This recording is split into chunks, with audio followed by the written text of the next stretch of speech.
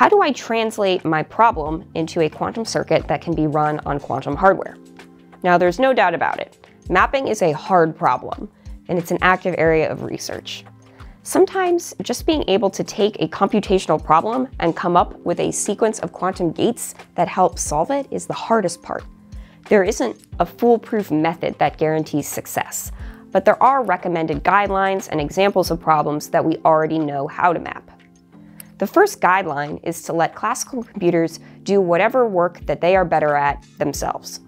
Tasks that are easy for classical computers probably won't benefit from a quantum computer. Quantum computers are for problems that are classically hard.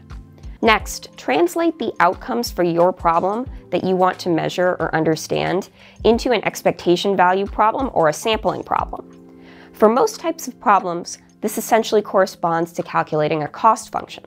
This notion can be applied to various applications in chemistry, machine learning, finance, optimization, and so on. Also keep in mind that the hardware that you're going to be using has a specific topology. Some qubits aren't connected and some are. And ultimately, you'll need to map your problem to a circuit that represents this.